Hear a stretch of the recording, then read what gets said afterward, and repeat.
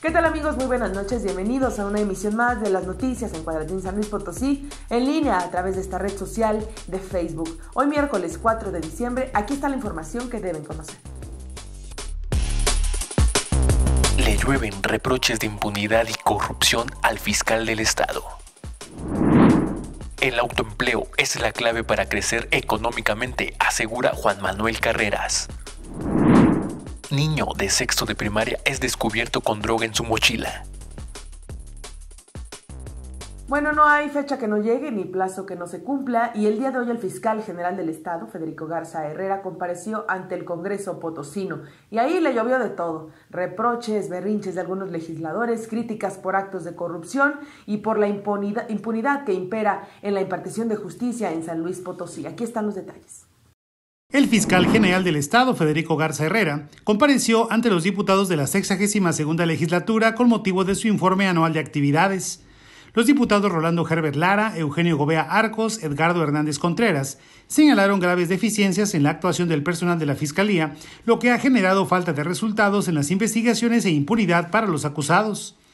El fiscal indicó que la mayoría del presupuesto de la Fiscalía se utilizará en aumentos salariales a personal, ya que cuenta con el mismo desde 2017, al no autorizarse la creación de nuevas plazas, conformado por 1.683 empleados, donde el 64% corresponde a seguridad y custodia, 61 peritos, 235 agentes del Ministerio Público y policías de investigación, el fiscal general del Estado consideró que el gran problema de México no es la procuración de justicia, sino la seguridad pública, ya que se cometen más de 32 millones de delitos al año y se denuncia menos del 10%.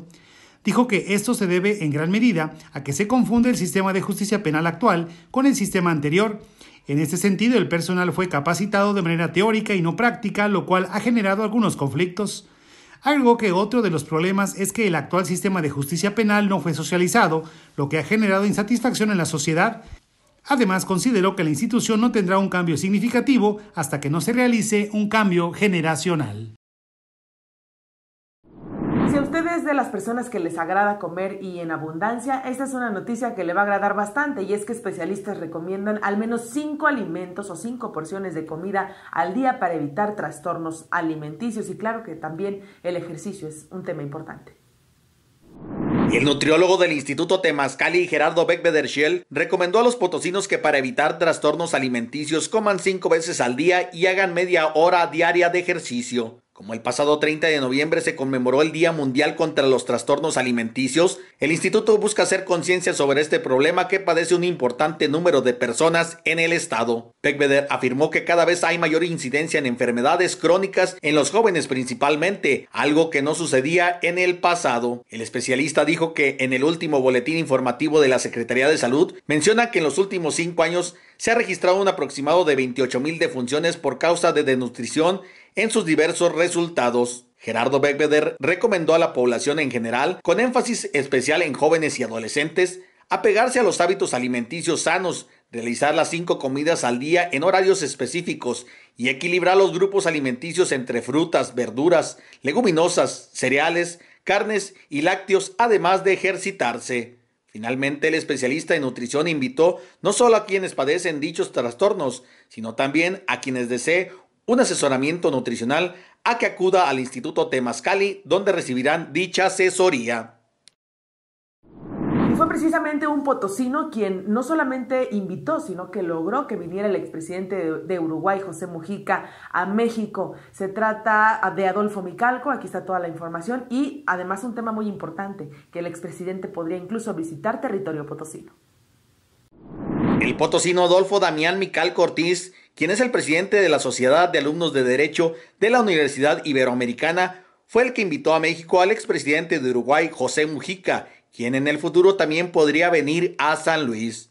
Micalco comentó emocionado que la visita a tierras mexicanas de quien fuera en su momento considerado como el mejor presidente del mundo fue para recibir un doctorado honoris causa por parte de la institución educativa, además de sostener un encuentro con los alumnos. Micalco añadió que hace dos semanas le hablaron de rectoría y le dijeron que en la Secretaría de Relaciones Exteriores le comentaron que venía Mujica y que quería tener un encuentro en la Ibero. Durante el encuentro, José Mujica logró con sus palabras un eco importante entre los jóvenes, y es que toda la experiencia que tiene el expresidente de Uruguay en términos de lucha social inspiró a los presentes. Adolfo Micalco consideró que Mujica es una autoridad en el tema porque desde joven peleó en las luchas sociales y al final del día les dijo a los universitarios que, aunque los grandes del gobierno o quien sea les diga que no se puede, consideró que la visita a tierras potosinas pudiera darse en un futuro ya que por el momento José Mujica fue electo como senador de su país y en breve comenzará labores, pero su visita fue más que pertinente en este momento debido a todos los movimientos y luchas sociales que hay en América Latina. Generar empleo y fomentar el autoempleo son dos temas importantes, de acuerdo a la versión del gobernador de San Luis Potosí, eh, Juan Manuel Carreras López, para mejorar la economía de nuestro estado.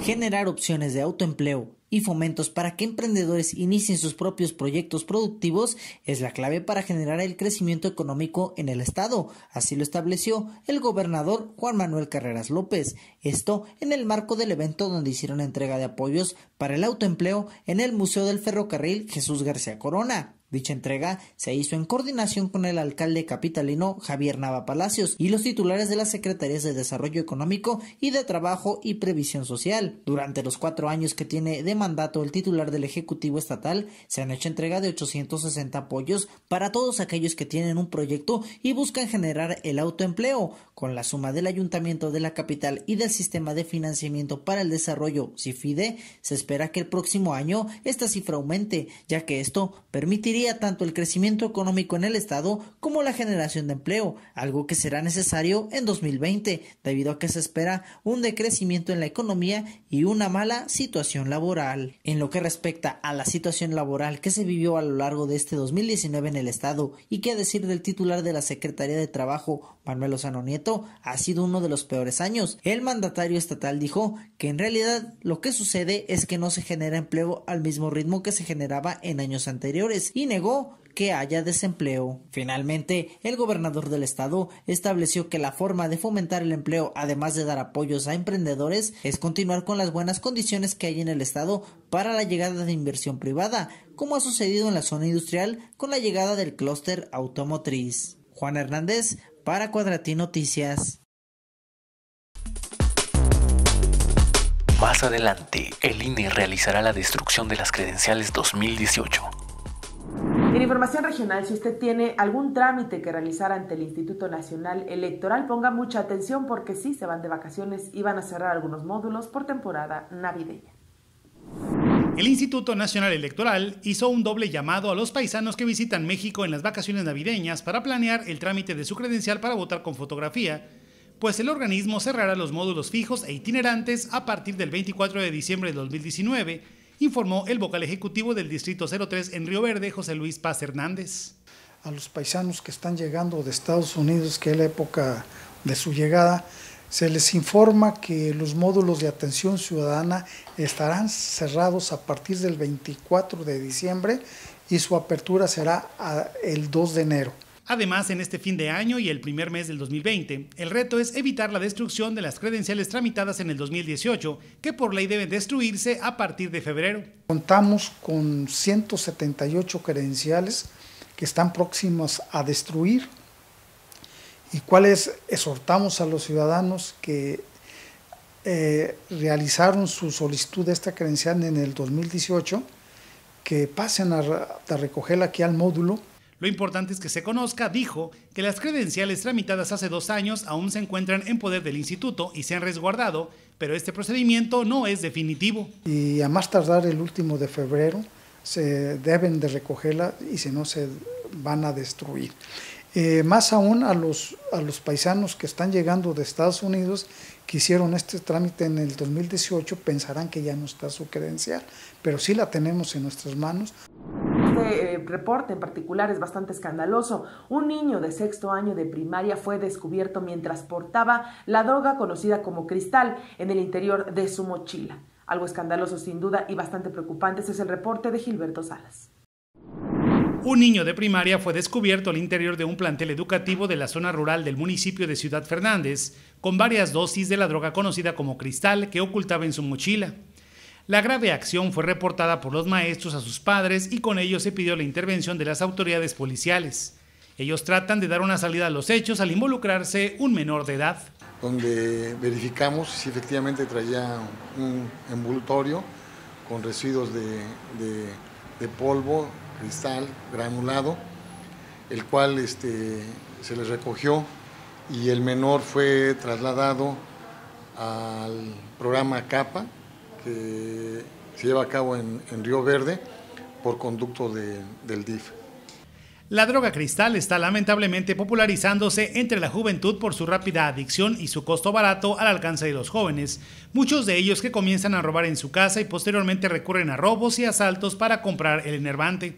El caso ocurrido en Ciudad Fernández fue reportado en la escuela primaria de la colonia 20 de noviembre, en el sector conocido como La Ribera, luego que había preocupación entre maestros y los padres de familia. Se supone que al momento de, que los padres acudieron a la escuela, eh, nos informan que, fue en el interior de, la escuela, al momento de, revisarlo. Ya los padres ya tenían indicios de que de que el joven eh, estaba siendo este, adicto a la, a la droga, ¿no? La policía municipal acudió al sitio para revisar la situación, recoger la droga e iniciar junto con los padres el proceso para rehabilitar al niño y alejarlo de conductas criminales. Departamento del DIF con sus psicólogos eh, acudieron al llamado que hizo la mamá del menor y, nos dieron este, también la intervención a nosotros. En otros temas, en el municipio del Altiplano Potosino de Matehuala, el cuerpo de bomberos va a cerrar el año con apenas 45 verificaciones a comercios. Para el cierre del año 2019, la estación de bomberos Matehuala estará logrando un total de 45 verificaciones a establecimientos de diferentes giros, entre los que destacan restaurantes, casas de préstamo, tiendas de conveniencia y gasolineras. Manuel Mauricio Flores Morales, comandante de bomberos Estación Matehuala, señaló. Se realizaron 34. Eh, de estas fueron pues a distintos eh, giros de negocios eh, tuvimos sobre todo de negocios eh, que se dedican a lo de préstamos. Este, por ahí tuvimos algunas, otras fueron de hacia Oxos, de, tiendas nuevas de Oxos, otras a restaurantes, este, y eh, últimamente tuvimos de unas, de unas gasolineras. Entonces, este, bueno, todavía tenemos programados para, para farmacias similares, cuatro para la próxima semana y este, se están liberando algunos en esta semana, entonces a lo mejor cerramos en algunas 45 ya todo el año. Detalló que los pasos para la verificación consta de la entrega de solicitud, después de la valoración, para concluir con el dictamen. Primero, bueno, llega el usuario, nos hace una solicitud, se agenda dependiendo de, lo apretado que estemos en ese sentido, y va el teniente José Luis Guadiana a hacer la primera revisión ¿Y qué es lo que nosotros revisamos? Todo lo que es riesgos de incendio, nos basamos en la norma 002 de la Secretaría del Trabajo. Y pues ahí eh, verificamos los inventarios, inventarios de sólidos, inventarios de líquidos, inventarios este, de gas, en un momento, por ejemplo, para cuando hay restaurantes. Entonces, dependiendo del inventario, es el riesgo en el que quedan de acuerdo a esta tabla. Recalcó que Bomberos no es un ente sancionador, solo emite sugerencias y recomendaciones. No obstante, solicita a los usuarios atender el llamado para que así se pueda extender un documento correspondiente de la opinión técnica. Si esta visita de verificación es correcta, subsanaron todas las observaciones, porque nosotros no somos un ente sancionador, no somos una autoridad. Nosotros emitimos sugerencias, ¿sí? Este, emitimos recomendaciones. Entonces nosotros recomendamos pues que se ponga un extintor de X tipo, de X capacidad. Entonces este, vamos a la verificación de que se haya puesto este. Si habíamos encontrado un extintor bloqueado, pues que ya se encuentre un área despejada. Y, así, cada una de las indicaciones que se les dejaron, que, fueron subsanadas, emitimos entonces ya el documento este, pues, correspondiente de la opinión técnica. En unos instantes, el gobierno federal realizará una nueva subasta.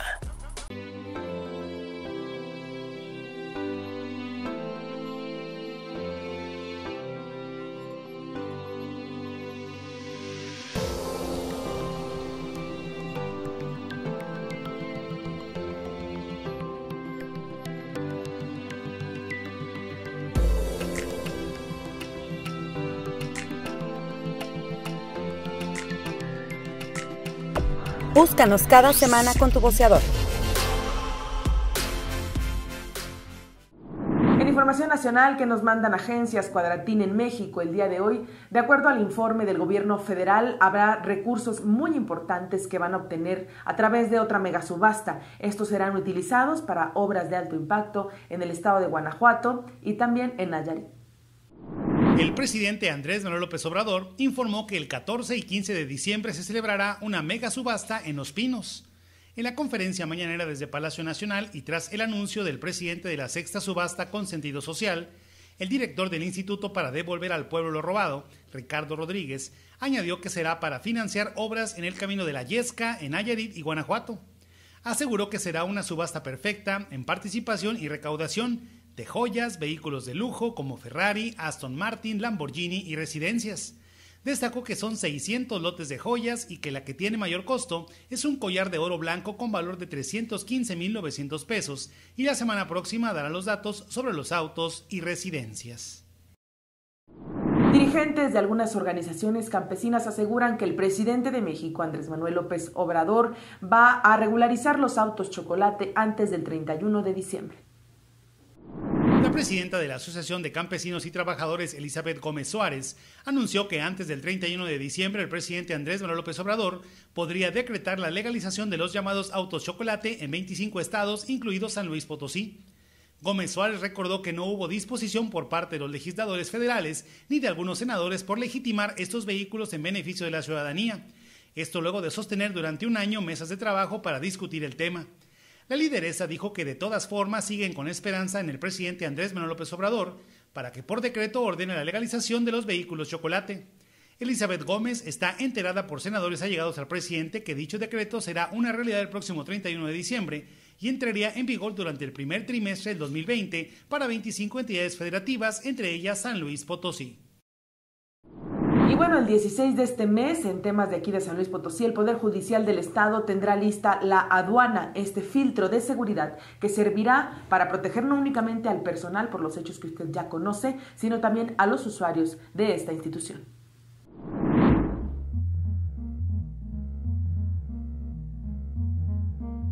Próximo 16 de diciembre quedará lista la aduana de seguridad del Poder Judicial para resguardar al personal y a las personas que acuden para resolver sus casos legales, anunció el presidente del Supremo Tribunal de Justicia en el Estado, Juan Pablo Almazán Cue. La intención es que haya un tránsito normal, pero ahora sí con la protección que debe tener un edificio de esta naturaleza, indicó el funcionario y dijo que por esa razón unas 700 personas que laboran ahí tendrán un lugar de acceso al edificio con su identificación y habrá otra área para quienes acuden a solicitar los servicios en materia de administración de justicia. Almazán dijo que la finalidad es evitar hechos lamentables como los que ya se han suscitado en la ciudad judicial, algo que según aceptó tardaron en llevar a cabo porque la misma instancia a nivel federal cuenta con estas medidas desde hace tiempo. Si bien el 16 de diciembre terminarán las instalaciones, es posible que la aduana se pondrá en marcha en los primeros días de enero porque antes deberán hacer pruebas con las tarjetas de acceso del personal.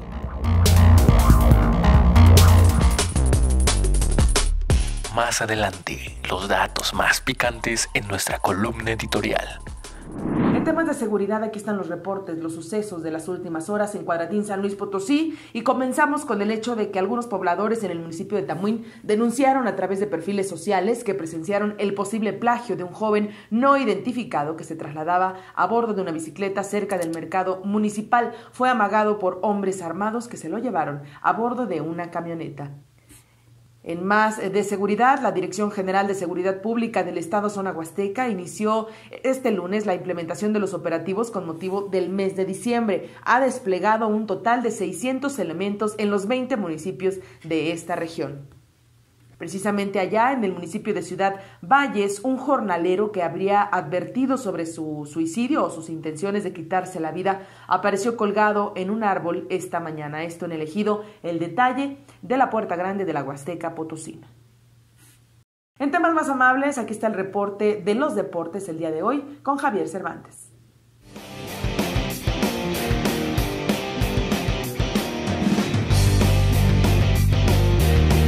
Alterista potosino Vicente Uriel Montoya Alvarado conquistó el segundo lugar en la modalidad de arranque 67 kilos sub-20 del tradicional torneo del pavo de levantamiento de pesas. La prueba fue ganada por el yucateco Adrián Verde y en el tercer sitio quedó el queretano Javier Rangel. Todo un éxito resultó esta tradicional actividad que organiza la Asociación Potosina de Alterofilia con el aval de la Federación Mexicana de la Especialidad y el apoyo del Instituto Potosino del Deporte. Los centros de acondicionamiento físico atlético CAFAS dieron a conocer la programación de su etapa de acondicionamiento físico que se llevará a cabo a partir de enero del 2020 en diferentes escenarios naturales. Significa una buena oportunidad para la sociedad potosina que gusta de correr, para que se inicie en el trabajo de pretemporada, diseñado por CAFAS desde el año de 1980. Microondas, las alfombras y la cañada de lobo serán los escenarios para estas pruebas a campo traviesa, de acuerdo a la información que dio a conocer Fernando Montelón Guazúa, director general de los CAFAS. La dupla potosina, integrada por Alma Teresita Duarte Sánchez y Alejandro Barriga, se coronó en la categoría recurvo máster mixto del Campeonato Nacional de Tiro con Arco celebrado en el Club de Tiro Halcones. Además, en la clasificación compuesto infantil menor,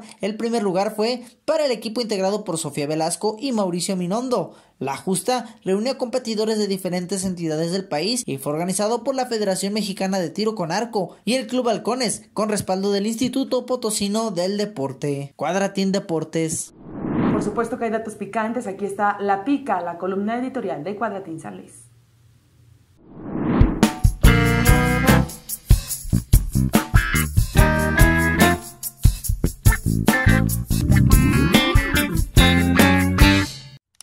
Aunque San Luis aparece entre las entidades marcadas por consulta Mitowski con color verde limón, es decir, donde el presidente Andrés Manuel López Obrador tiene una alta aprobación con entre 50 y 59%, en realidad es donde menos arraigo tiene, no se lo digan a nadie. Ya ven que de por sí el tabasqueño pasó la tijera en serio en el presupuesto federal, pero la entidad apenas lo aprueba con 53% y aparece en un lejano 26 lugar nacional. El número es positivo, pero no comparado con el 78% de Curiosamente donde la cuarta transformación dejó en libertad al hijo del Chapo Guzmán, Ovidio Guzmán, estado donde AMLO ocupa el primer lugar en arrastre, con un superdelegado Gavino Morales Mendoza contra la pared, un Morena dividido e inoperante, todo el trabajo se lo dejaron al mandatario, que en octubre había logrado un 57.3%, pero en noviembre cayó a 53.4% en estas tierras y no parece tener red de protección.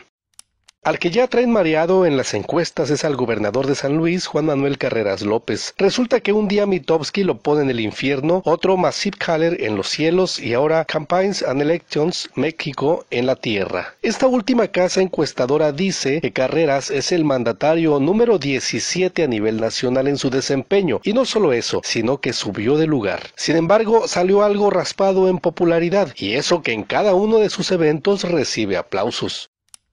En el caso particular de la impunidad en los homicidios dolosos, San Luis Potosí decidió replegarse y no dar a conocer su información, al menos es lo que denunció la Asociación Impunidad Cero en el trabajo de investigación desarrollado por Guillermo Raúl Cepeda Lucona y Paola Guadalupe Jiménez Rodríguez. De este documento se desprende que el 72.3% de los homicidios en la entidad son con arma de fuego y que hubo en total 528 muertos en 2018. Asimismo, que por cada 100.000 habitantes matan a 18 18.7 personas y que entre 2015 y 2018 estos crímenes aumentaron 105.4%, pero cuando se trata de conocer el número de sentencias condenatorias, absolutorias, el total y su tasa, San Luis Potosí aparece con el vergonzoso no proporciona información junto a Campeche y Querétaro, no que el que nada debe nada teme.